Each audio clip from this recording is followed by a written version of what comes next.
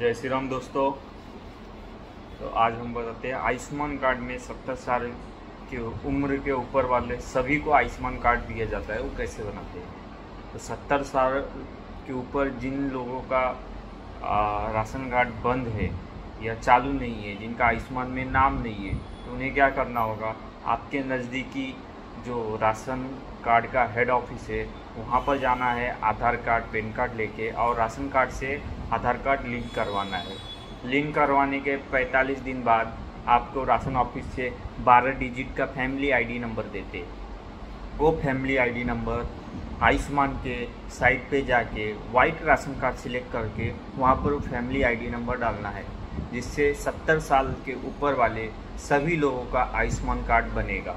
तो अगर मेरी इस जानकारी से आपको अच्छा लगा है तो मेरे चैनल को सब्सक्राइब करें और शेयर करें। जय श्री राम, जय हिंद, वंदे मातरम।